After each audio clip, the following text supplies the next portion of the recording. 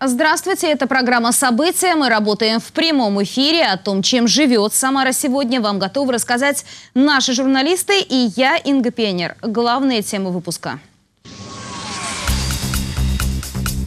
Туманный ноябрь. В Самару вновь не летят самолеты.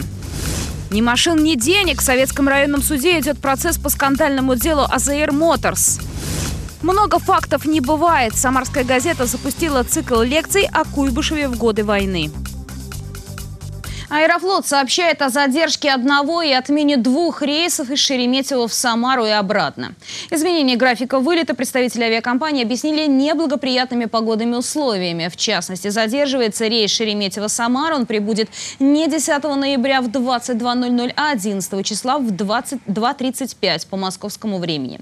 Кроме этого, на период с 10 по 11 ноября отменили рейс Шереметьево-Самара-Шереметьево. Он должен был вылететь в 8.00 и прибыть в 10.45 по Москве. Также в эти два дня отменяют рейс из Самары в Шереметьево. Напомним, во вторник, 8 ноября, погодные условия также стали причиной позднего прибытия в Самару нескольких самолетов. В этот день задержались 10 авиарейсов. При этом сам аэропорт Курумыч работает в штатном режиме. Обещанного три года ждут. В Советском районном суде Самары рассматривается уголовное дело учредителя и гендиректора фирмы АЗР Моторс Владимира Калинченко. Еще в 2014 году его компания собрала деньги с покупателей машин, но автомобили они так и не дождались. Сегодня суд выслушал версию потерпевших. Олег Зверев тоже изучил материалы. Заплатил деньги в полном объеме. Потом сказали, что какими-то финансовыми затруднениями вашего автомобиля не будет. И таких историй больше сотни. Заплатили первоначальный взнос, взяли кредит, а в итоге ни машины, ни денег. Дмитрий Корнеев один из тех, кому уже удалось вернуть вложенное. Но еще десятки клиентов АЗР Моторс Самара вынуждены обивать пороги. Еще в 2014 году официальный дилер Рено заключил с ними договоры на продажу автомобилей, которых так и нет. И вот бывший генеральный директор компании Владимир Калинченко на скамье подсудимых. Сегодня суд допросил потерпевших. По словам адвоката, виной всему кризис, который нарушил привычный ход, в общем-то, честного и стабильного бизнеса кризиса. Вы вспомните 2014 год. Это кризис в России. Это курс доллара в два раза. Это закрытие автосалонов, я не говорю других предприятий. Это банкротство автосалонов, падение продажи автомашин на 60%. Вот и вся эта лавина произошла.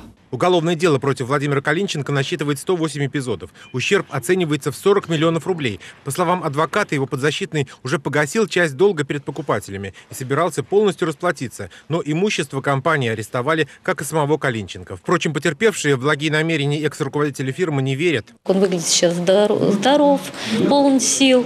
О возмещениях потерпевшим, которым говорят его уже пятый адвокат, никаких возмещений от него не будет, как и не было.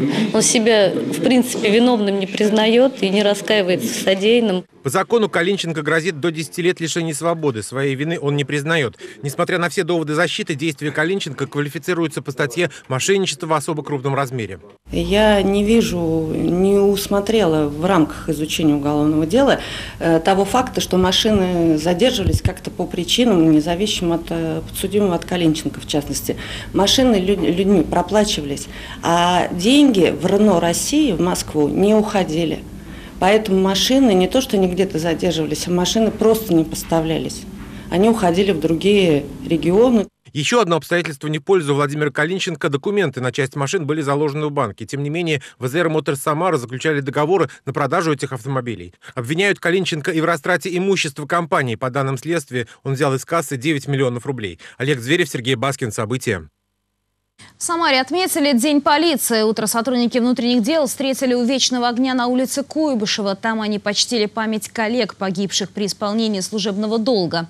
А потом начальник главка Сергей Солодовников наградил лучших полицейских медалями и внеочередными званиями.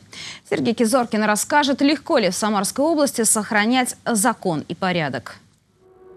Советская милиция, российская полиция. Название поменялось, суть осталась. Свой профессиональный праздник сотрудники МВД начинают отмечать по сложившейся традиции здесь, на Куйбышева 42, у мемориала погибшим полицейским. Церемония скромная. Возложение цветов, короткая молитва в часовне.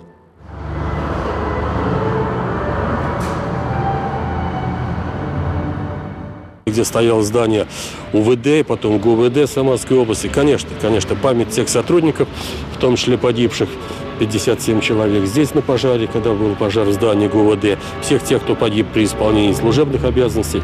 Безусловно, мы любой день, 10 ноября, уже который год, именно начинаем отсюда. Все остальные торжественные праздничные мероприятия, концерты – это потом. Все начинается вот от этого мемориального центра. Татьяна Гусева на службе в полиции уже больше 20 лет. Решила уйти на заслуженный отдых. Начальник областной полиции Сергей Солодовников попросил остаться. И в профессиональный праздник за отличную службу в торжественной обстановке в управлении МВД присвоил командиру конной полиции Тольятти внеочередное звание – майор. Татьяна Гусева решила еще послужить родине. Правда, на работу приходится ездить из Самары. Начинала почти с истоков – вот, э, много лошадей у нас стало, хороший личный состав, можно, конечно, работать. Но вот то, что дорога занимает много времени, тяжеловато. Но если уже пообещала генералу остаться, придется остаться. Самарская полиция стала ближе к народу. Так считает ее начальник Сергей Солодовников. На церемонии награждения лучших сотрудников он отметил медалями и поблагодарил своих подчиненных за то, что патрули и дружинники уже норма жизни на городских улицах. И как следствие, криминала за последние два года стало меньше в среднем на 10%, а раскрываемость преступлений возросла. Из 10 случаев 7 заканчиваются уголовными делами. Мы должны быть крепки духом, мы должны быть способными в любую минуту защитить нашего гражданина. Мы должны быть готовыми выполнить любую задачу, поставленную президентом. Мы должны быть готовыми защитить наш собственный народ. Праздник День полиции продолжился в филармонии. На концерт приглашены сотрудники вместе с семьями. Сергей Кизоркин, Василий Колдашов. События.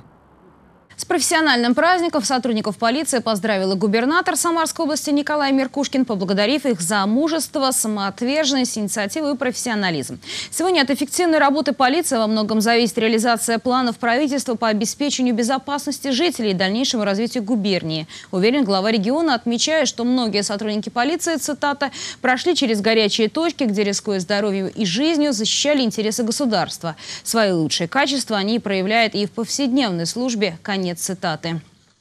Граждане России теперь официально школьникам Советского района Самары вручили их первые паспорта. На торжественную церемонию пригласили тех, кто отличился в учебе, спорте и творчестве. Эмоции детей и их родителей в репортаже Валерии Макаровой. Приглашается Гаврилина Анастасия Антоновна. В октябре восьмиклассница Настя Ковригина отметила свой 14-й день рождения, а сегодня сделала еще один шаг во взрослую жизнь – получила паспорт. Она оказалась среди лучших учеников школ Советского района Самары. Здесь отличники и победители Олимпиад, спортсмены и музыканты. Я хожу в музыкальную школу, а, учусь, ну, вокалом занимаюсь и, а, ну, хожу там на дополнительно, то есть сольфеджио, музыкальную литературу. На много конкурсов ездила, выступала. Таким талантливым и активным школьникам паспорта вручают торжественно. Это уже традиционная для советского района акция «Ты гражданин России». В этом году это у нас уже вторая акция. Мы вручали накануне памятные Дня Победы. Там с приглашением ветеранов Великой Отечественной войны. Ну а здесь вот мы решили приурочить это к памятной дате. Это парад памяти, который у нас прошел буквально недавно, 7 ноября. 21 школьник сегодня получил официальный документ гражданина России. Волнительный момент и для родителей, ведь дети стали взрослее. Валерия Макарова, Константин Головин. События. Первым делом самолета становление Куйбышева как промышленного центра начиналось с авиационных заводов. Андрей Горгуленко стал одним из слушателей традиционных исторических лекций в «Самарской газете» и узнал, кто стоял у истоков индустриализации Куйбышева. 6 августа 1900 1940 года принимается решение о э, строительстве крупного авиационного узла. Куйбышев был не только космической столицей СССР, но и авиационной. И получить этот статус позволило активное строительство заводов в 40-е годы прошлого века на Безымянке.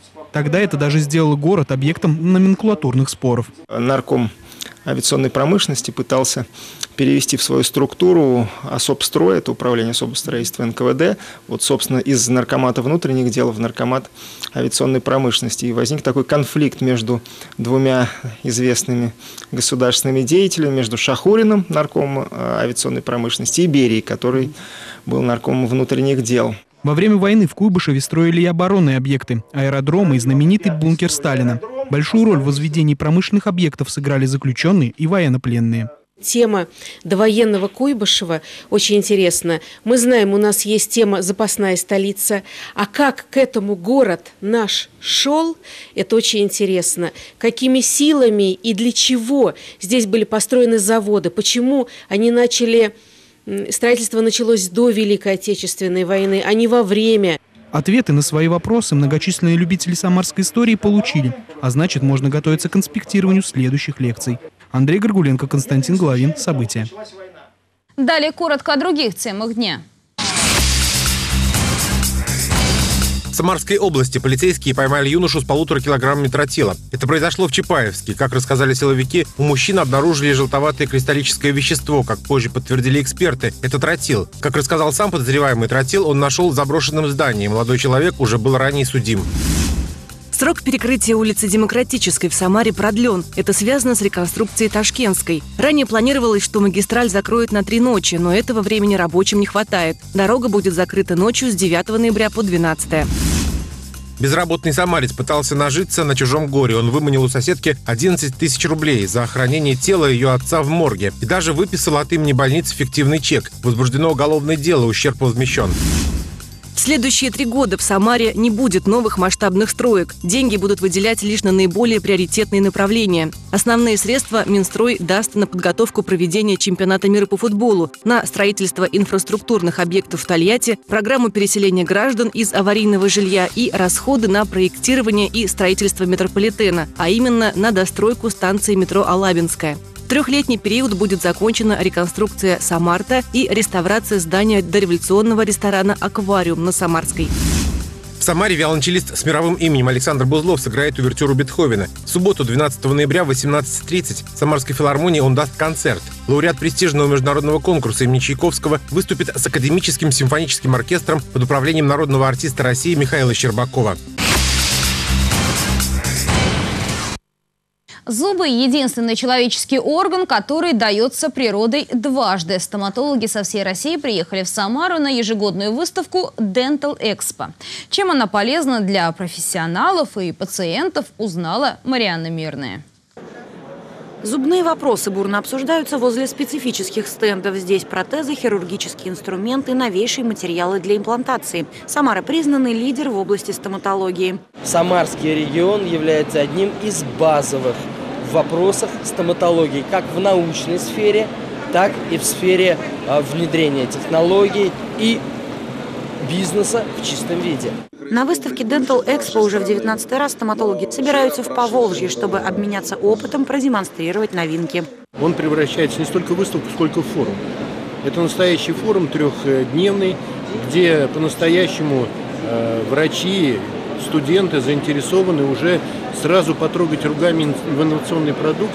У стоматологов вот это общение, оно настолько регулярно. А в этом году он посвящен, он с международным участием форум и посвящен 50-летию стоматологического образования нашего университета. Выставка «Форум» продлится три дня. За это время специалисты отрасли смогут обзавестись новыми партнерскими отношениями и познакомиться с новинками в области стоматологии. Мариана Мирная, Дмитрий Мешканцов. События. Это далеко не вся картина дня. И вот какие материалы наши журналисты сейчас готовят к эфиру. 91-я отдельная бригада получила почетное звание Александровская. Минобороны увековечила память о гусарах, которые отправились из Самары на фронты Первой мировой. Поехали наводить порядок. Сотрудники Росреестра напомнили хозяевам кафе на Алматинской про земельное право. Сталинка на Новосадовой заиграла новыми красками, суперпрочными. Подрядчик на капремонте решил не экономить. На этом наш выпуск завершен. Удачи вам, увидимся!